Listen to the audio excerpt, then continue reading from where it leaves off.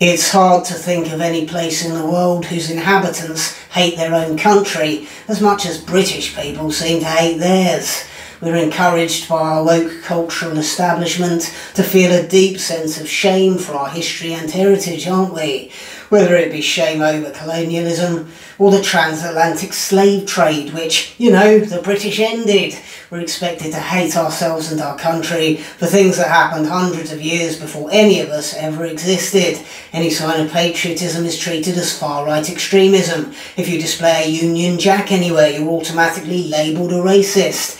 Inevitably, where people hate the country they live in, they make no effort to look after it, do they? They chuck litter in the streets, out of their car windows, they fly tip down country lanes or by the side of dual carriageways, and the worthless, bone-eyed or grossly overpaid councils who receive eye-watering sums of money in council tax every month and are responsible for the upkeep of their districts display a total abnegation of responsibility.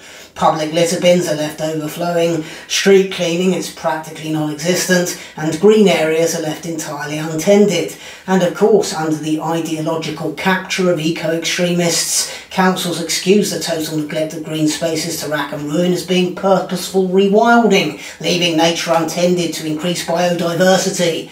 Consequently, green spaces have been abandoned by dog walkers who are sick of pulling ticks out of their dog's fur and taking them to the vet to have grass seeds removed from their paws, and also abandoned by children who are fed up of falling foul of patches of stinging nettles and brambles.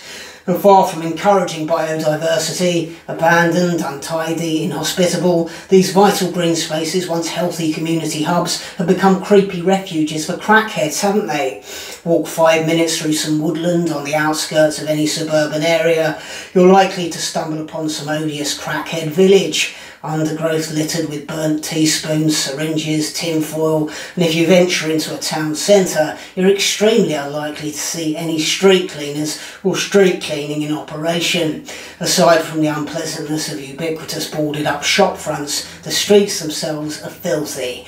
And let's not forget, we're each of us paying considerable amounts of money in council tax for these fundamental matters of hygiene and cleanliness to be attended to. We're not getting the service we're paying for. We're being conned and extorted. We're living in escalating filth, and of course, that impacts people's mindset and behaviour. When people see low standards of public order and cleanliness all around them, their own personal standards of conduct become reduced to that same level. And inevitably, we find ourselves in a country where nothing works and nobody will take responsibility.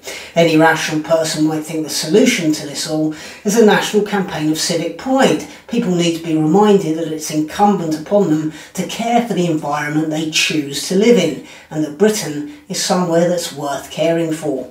But of course, that would probably get labelled as racism as well, wouldn't it?